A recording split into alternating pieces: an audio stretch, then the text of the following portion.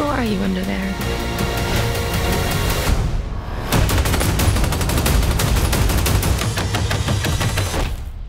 I'm vengeance.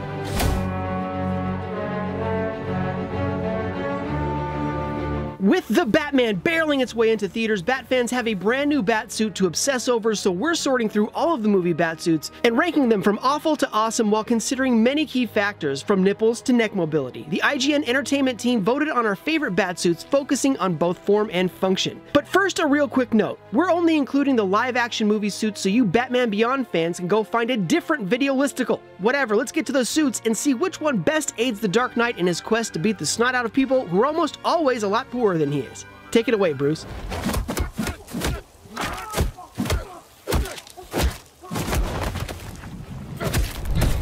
Maybe he melted. No, he's just hibernating.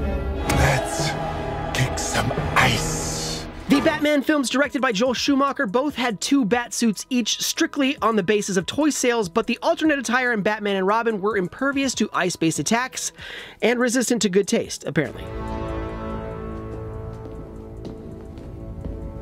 What do you suggest, Alfred?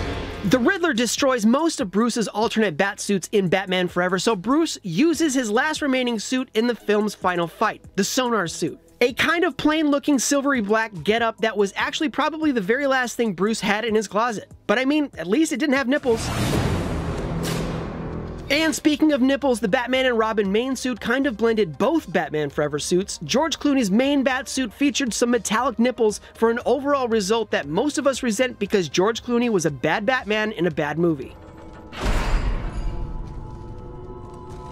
In Batman vs. Superman's ruined dystopian dreamscape ruled by an evil Superman, Batman threw a hat on a hat by adding goggles and a trench coat on top of his DCEU batsuit.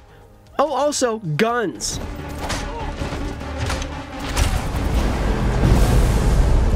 Before Batman and Superman realized the most world shattering coincidence in the history of everything, Save Martha! Bruce geared up in the powered batsuit exoskeleton inspired by the armored suit in Frank Miller's The Dark Knight Returns. This chonky costume made Bruce just strong enough to find out what normal people might find out in just regular conversation. Why did you say that name? It's his mother's name. Or moms have the same name, that's cool.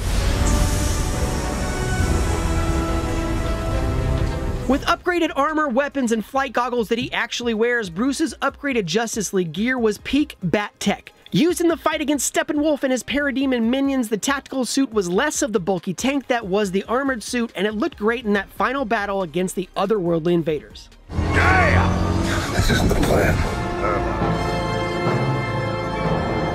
The original nipple suit. Batman Forever director Joel Schumacher was inspired by the statues of ancient Greece, or that's how the story goes. The main Forever suit also made some graceful alterations to the Tim Burton designs, including a muted chest symbol and a new utility belt.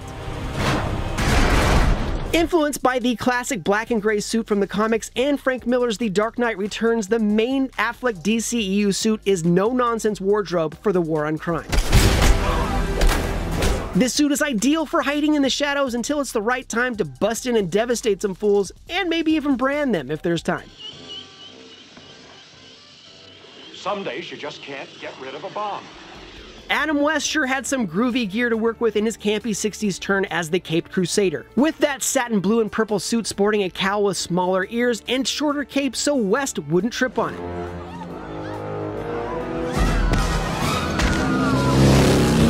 Batman Returns, Bruce has been so focused on being vengeance and also the knight that he now has a Batcave vault full of alternate suits. The main Returns suit sports subtle changes to the Batman 89 suit, sleeker and less sculpted with a functional gliding cape.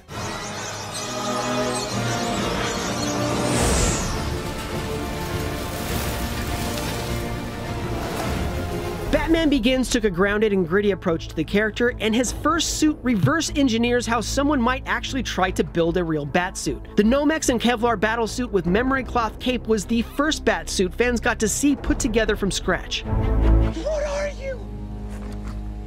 I'm Batman.